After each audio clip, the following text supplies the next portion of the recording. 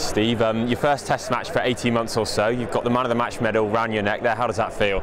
Yeah, it's a fantastic feeling. You know, to to help us win a game of cricket and a very important Test match means a lot to me. Um, you know, it, it, was a fantastic Test match. A lot of people put their hand up, but it feels good to be standing there. You're on your wildest dreams, you think, to think that it's panned out for you like this?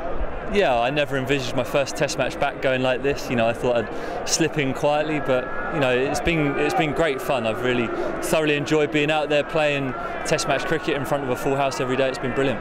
Yeah, what was this? What was this crowd like? What, what, what did they mean to you? What does it mean to hear them chanting your name? Oh, it's, it's huge. You know, they're like a 12th man to us. When we play in places like this, where the team, where they're behind the team, um, it galvanises the guys to bring the best out of themselves. So, you know, it's been it's been great to play in front of this crowd all week, and we're just happy we got a win for them.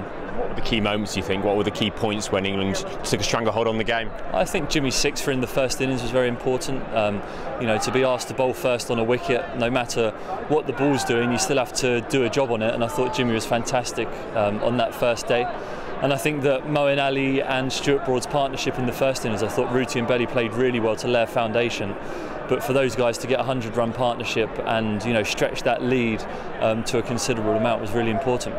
Can you explain the turnaround? Can you explain how a team's gone from a 405 run loss to an eight wicket victory? It doesn't seem like much is able to be explained in this series so far, does it? So, you know, we, I don't think I could put my finger on it, but all I do know is that Australia are an excellent team and they'll be looking to come back hard at us next test as they did at Lords. So, um, you know, we're going to have to be on our guard. We're obviously going to be missing Jimmy in that test match. So, you know, some we're all going to have to step up and, and be counted even more. So, how do you deal with the loss of someone like Anderson? Because he's so so important, wasn't he, in, in this test? Yeah, very important. You know, he bowled like a wizard on that first day. Um, yeah, very sad to see him injured and, and miss him for the next Test match. Um, but it gives someone else an opportunity to go out there and, and pull on the England shirt and play with pride. So, um, you know, if, if, we all go out there with that attitude, then I think that'll stand us in good stead. How does the team celebrate a win like this? What do you do as a group? Uh, we'll sit in the changing rooms for a little while, I think, and, and chew the fat over what's gone on over the last three days. Um, and then we'll leave here and, and we'll regroup in Nottingham ready to go for the next test.